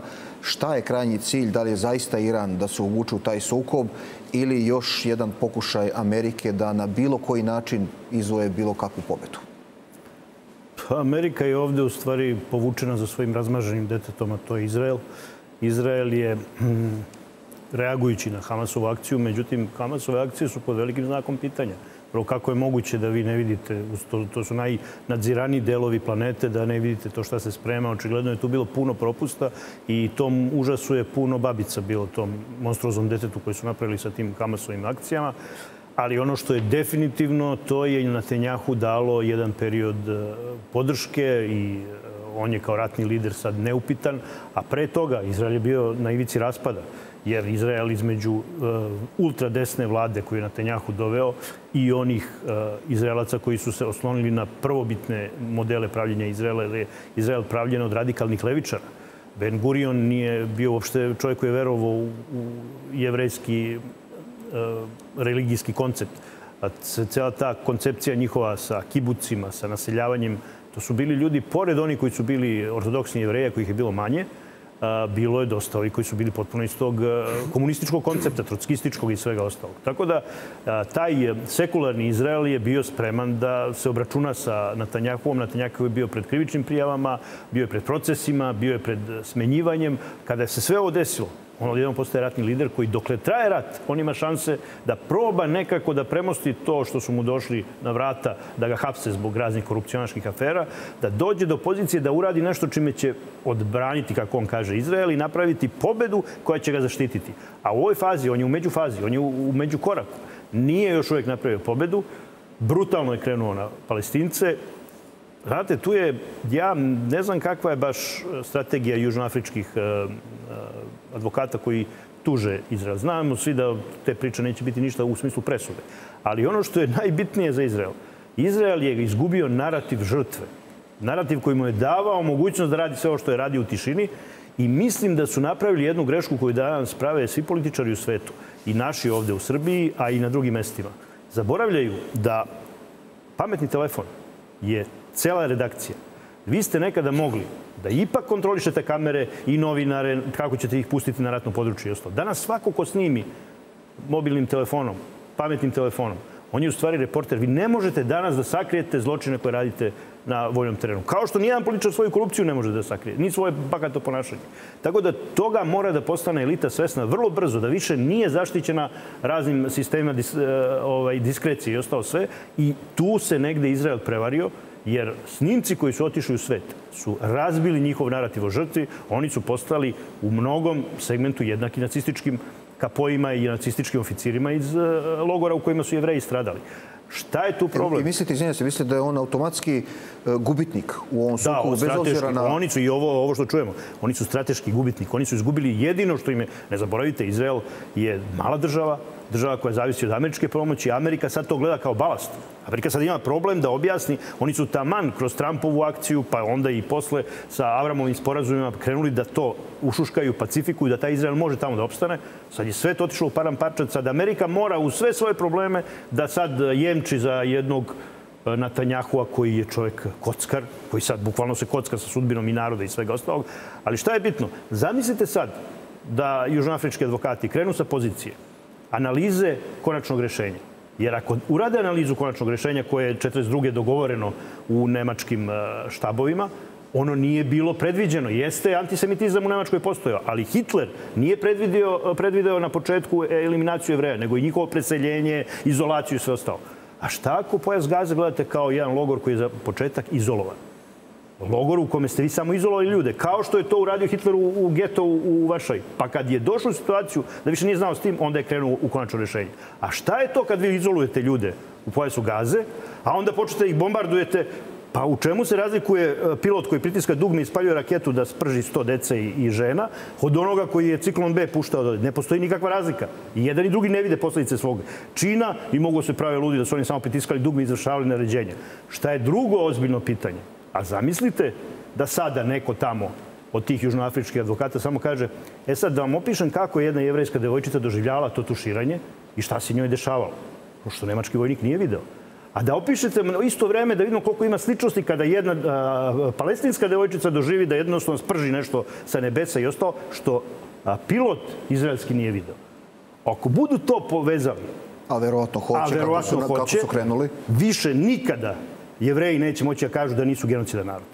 Bez obzira što to neće biti presuda, ali će to ostati u svesti svetskog javnog mnenja i oni koji su imali najveću prednost, ne zato što su brojni, jer nisu brojni, ne zato što su mnogo vojno jaki, jer nisu jaki bez Amerike, nego zato što su moralno bili u situaciji da svaka kritika Izraela je bila nekako ti je nezgodno da se setiš onih Puštali su glavu ljudi, da. Ali... E sada, više oni to nemaju. To je najveći kapital koji su izgubili i tu neka zahvale Natanjahu i njegovoj ludačkoj vladi, što su im upropastili ceo potencijal koji su imali. I sad u celoj toj priči opet se vraćamo na to da neko u Americi treba da se bavi real politikom, kao što je Trump, koji je kao i svi tamo izuzetno naklonjen Izraelu, on mora sada dođi da pokupi razbijene stakliće koje je uradio Netanjahu i da kaže ljudi, ajte da se dogovorimo kako da uopšte opstane Izrael na ovom prostoru. Da. E, kad pričamo o Bliskom istoku i o celoj situaciji, nego što kaže Lavro.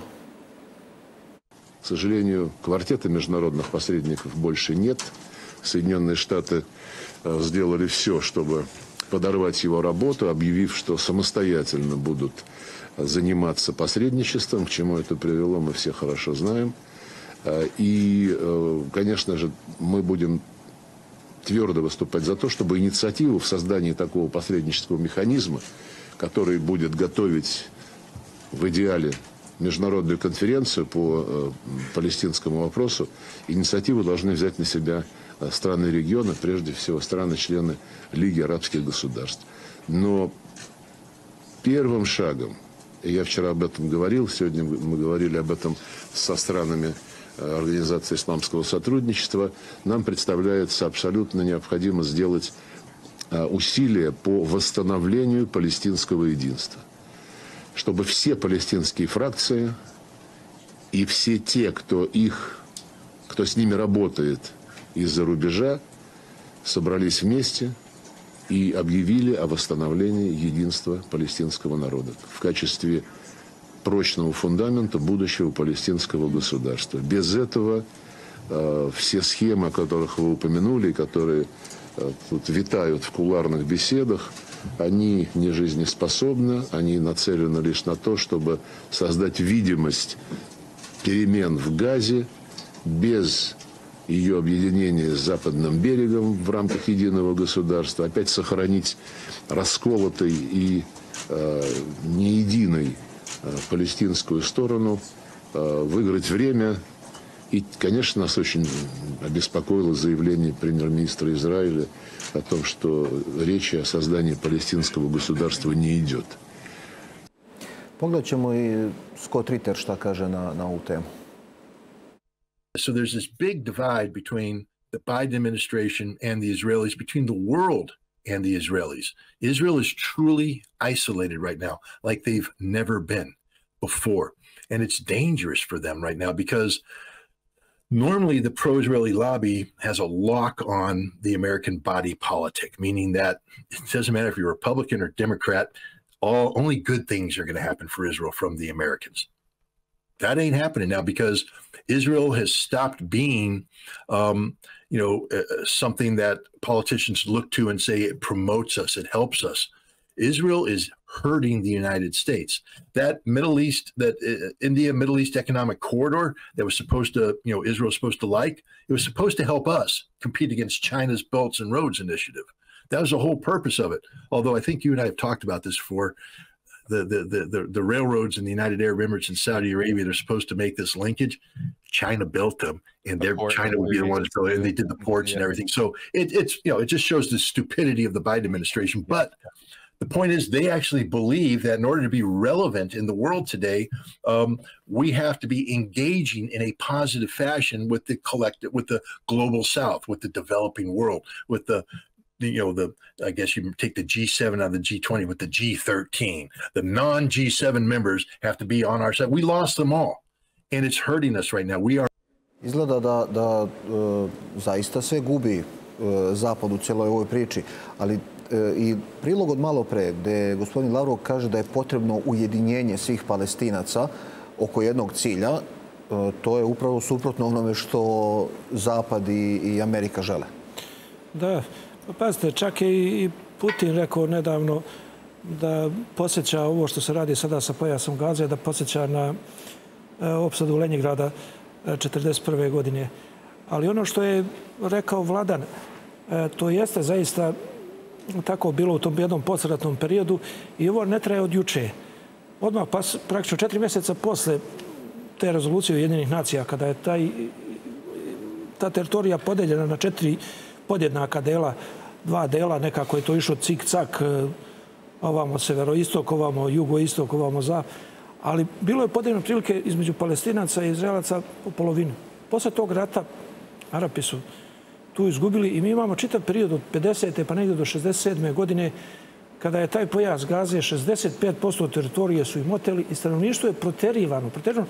Polako se, e, ova atmosfera se spremala, a kao što reče Vladan, da se ne bi zamerilo velikom stradalnom narodu, o tome se nije puno pričalo. Ali zaista jedna velika nepravda jeste prema palestincima činjena u čitavom posratnom periodu. Znači, taj pojas Gaze i, i njen južni deo i njen severni dio u periodu između 1950. i 1967. 65% te teritorije je prešlo i to stanovništvo nije želelo da ostaje. A ono što je malo ostalo, gde se danas ratuje, e, nisu im dali ni jednu luku da mogu da trguju. Nije dozvoljeno. Čak ribarski brodovi nisu mogli da... To su uslovno, e, proizvoljno od strane Izraela postavljene neke vodene granice. E, izraelskim brodovima je dozvoljeno da ribare bilo gde.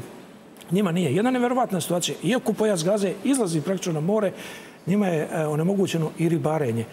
Tako da je ovo, mislim da ceo svet nosi jednu veliku odgovornost, ruku na srce i kad pogledate tu sliku posle te rezolucije 47. kao da se i stručnjaci Ujedinjenih nacija trudili da e, što pre dođe do nekih konflikata u budućnosti. Jer je to takav, takav e, to je gore nego Republika Srpska danas sa onom e, prekinutim koridorom za, da je oduzmu Brčko danas sutra. Još mnogo gora konstelacija jedna teritorijalna. Ali ponavljam, to je vladan lepo primetio kao da je to je, stravično stradanje u drugom svjetskom ratu, da se sve to vreme gledalo kroz prste, Čemu će ovo sada dovesti, ne znam, zaista je taj narod u jednoj jako teškoj Ali situaciji. Kako vidite, kako vidite uh, ponašanje zemalja okolo, od, kojih neki ipak očekuju neku reakciju, ipak očekuju da, da se na neki način umešaju u ceo taj sukob, za sada samo usuđuju? Pa na početku je bilo i činilo se kao da narasta neko, da kažemo tako, islamsko jedinstvo, međutim, E, s pojavom i tih nekih e, raketonosaca i, i tih američkih brodova kao da se sve smirilo, ali ne smemo zaboraviti da i tada u tom arapsko-izraelskom ratu je Izrael izašao kao pobednik. Da praktično nisu samo Izraelci e, uzeli sve palestinske teritorije, jedan deo palestinskih teritorija je uzeo i Jemen, jedan deo je uzeo i Egipat. Znači, vi imate situaciju da vi imate u susednoj državi, arapskoj državi, oko 500.000 palestinaca koji tamo žive. Tako da, čini mi se da je jedna ta, nešto je tu Kina uradila i to je velika stvar zaista da se Saudijska Arabija i Iran da su uspostavili diplomatske odnose, ali čini mi se da je još daleko da je ipak taj petrodolar još uvijek je isuviše moćan za neko ozbiljnije jedinstvo Arapa na Bliskom istoku. Da. Kada, pričamo, kada pričamo o tom, o tom e, regionu, spomenuli smo i Jemen, da vidimo da li oni ostaju u, kao podrška palestinskom narodu. We must stand with the oppressed against the oppressor and denounce and reject this intellectual falsification which labels the murdered person as a terrorist and the killer as a peace dove. Our message to the Palestinian people is that we stand with them wholeheartedly. We share the same blood and the same revenge. We stand with them without any fear of US missiles and warships. We stand with the Palestinians without any fear of the US, Israel, or any other.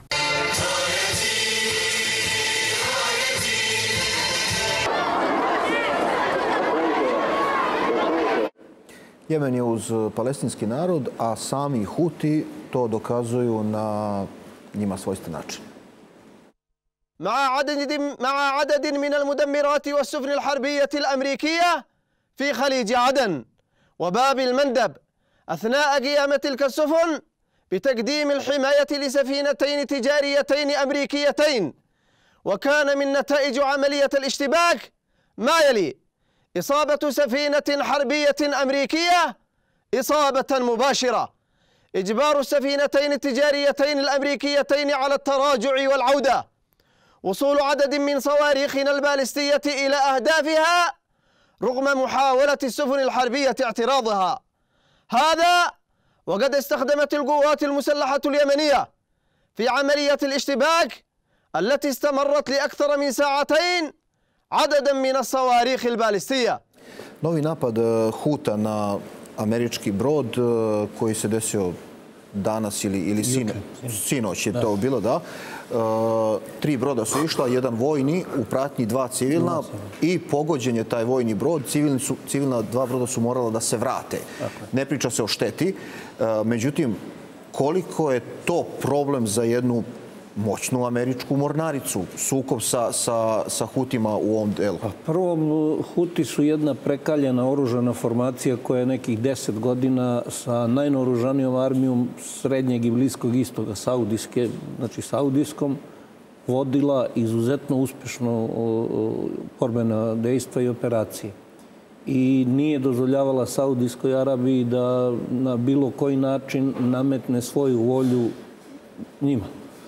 Drugo, moramo da shvatimo da Huti, bez obzira šalili se ili ne, da su to, kako neki kažu, momci sa sandalicama i suknicama, u stvari obuhvataju i deo jemenske armije koji je pristao uz nacionalnu grupu Huta, odnosno nacionalnu grupu koja je nazvana po oblasti u Jemenu, Hutskoj.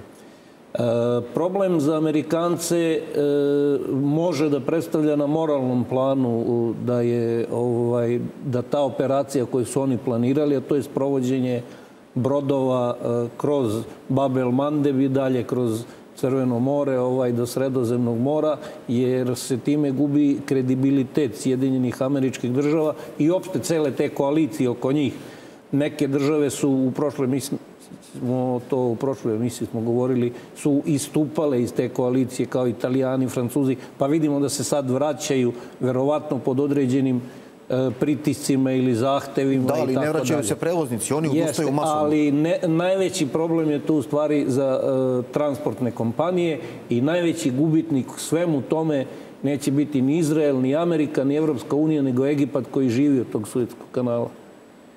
Za sada Egipat ne reaguje ni na jedan način, ni prema Sjedinjenim američkim državama s kojima su u nekim uslovno rečeno savezničkim odnosima, ali ne reaguje ni prema Jemenu, odnosno prema Hutima, tako da ovaj, neka velika šteta nije naneta Amerikancima u materijalnom smislu, imaju oni dovoljno brodova, ali u moralnom smislu da. A da li oni mogu tu da ostvare nešto pa što ne bi bilo da, pobjeda? Ne mogu za sada još uvek da ostvare bilo šta. Evo, samo da napravimo jedno poređenje.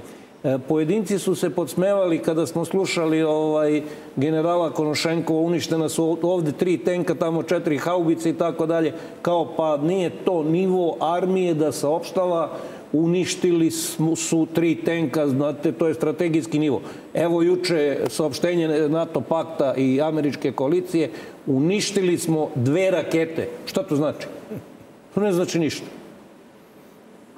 U suštini ne znači ništa, ali vidimo otprilike gde se i na šta se to svodi. E, veliki problem e, Amerikancima i Englezima za dejstvo prvo predstavlja što sem Sane Huti, e, koji je glavni grad tog pobunjenog dela ili odvojenog dela jemenskog naroda, ovaj Huti nemaju neku stalnu vojnu bazu, skladište e, ili bilo koji ovaj objekat koji bi Amerikanci mogli da e, unište, da dejstvuju po njemu pa da budu mirni i posle. da posle toga budu mirni. Zato što raspolažu sa mobilnim sistemima, e, uglavnom su to sistemi iranske proizvodnje koji se proveravaju sada praktično protiv američkih ili prema protiv NATO ciljeva i možemo očekivati u narednom periodu da se ovaj ukoliko se ne zaustavi sve ovo što se sad dešava, da dođe do određenih gubitaka i kod američkih, američkih snaga. Mi smo svedoci da su pre negde oko nove godine dvojica pripadnika specijalnih snaga koji su pokušali da zauzmu jedan brod bili odbačeni od strane posade Znači, američke foke su poražene od strane posade. Sad, da li je posada bila vojna ili je bila civilna, to je manje bitno, da bi Amerikanci konačno posle 20 dana tu dvojicu ovaj, oficira proglasili mrtvim, odnosno nestalim u, u Crvenom moru. Može doći, može doći do gubitaka. Za sada, kažem, ne predstavlja neki problem u materijalnom smislu, ali u moralnom smislu, u kredibilitetu da. i u ekonomskom smislu za Egipat veliki pogotovo, problem. Pogotovo što su Huti veoma snalažljivi i njihove dronove jako teško primetiti, a da vidimo zašto. Allah, Allah,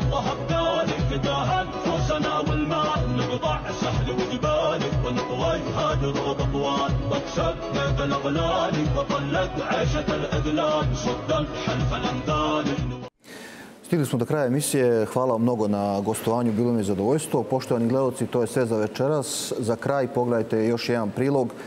Neka vojska koliko god da im date, uvek im je malo i sve potroše. Ja vam želim prijatno veče i ostanite uz Happy televiziju. Мы люди не гордые, нам сколько не давай, нам все равно мало. Вот. Но, опять же, реальных цифр не будем озвучивать. Да, я думаю, наверное, реальных цифр мало кто знает, э, никто не следит. Э, львиная доля – это, опять же, это не, э, скажем так, назовем это непрофессиональный сегмент, то есть это, если брать ФПВ, это ВТ-40, УПРИ, то есть то, что делается у ребят в подвале, да, которые взяли и решили делать это ну, за место тех, кто должен это делать. Быстро, качественно и массово. Вот. Если мы говорим именно про разведывательные э, беспилотные летательные аппараты э, серьезных типов, типа Зала 421 и же с ними, типа Суперкамов 350-х и других э, там различных альбатросов, ирбисов и прочее, прочее, то, что можно, э, может работать в условиях сложной помеховой обстановки и радиоэлектронной борьбы противника. Вот тут, наверное, хотелось бы, опять же, увеличение количества, но тут производители на самом деле и так из, из кожи вон лезут, э, выполняют и перевыполняют все требуемые планы. Э, тут опять же вопрос организации всплывает. То есть вроде бы они есть, и они даже работают, и причем массово работают. То есть все кадры, которые мы видим в телеграм-каналах, а их немало, которые и удары ФПВ дронами, зачастую это не мавики, а работают реально профессиональные птички – вот. И там, где я, например, работаю самым лучшим, как я его называю в мире, артиллерийским дивизионом, то есть там работают серьезные борта. И вот здесь хотелось бы как раз то, за что я на сленге, скажем так, топлю. И к чему, ну, как показывает практика, ведет и Министерство обороны. Э, это снижение, скажем так, уровня владения данным типом беспилотника. Поясню. Э, ранее он давался там, грубо говоря, на полк, на бригаду, то есть уже на такие э, подразделения более высокого уровня.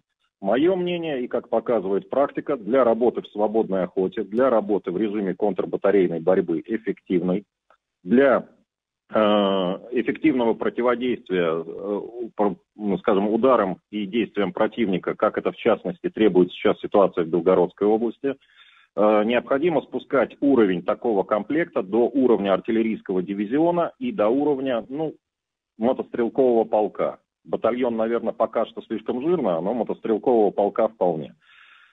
Это на самом деле дешевле для артиллеристов, чем э, пользоваться существующими средствами разведки, потому что э, чаще всего сейчас артиллерийский дивизион гаубичный, он снабжается подвижным разведпунктом там 4 или 5, ПРП-4, ПРП-5.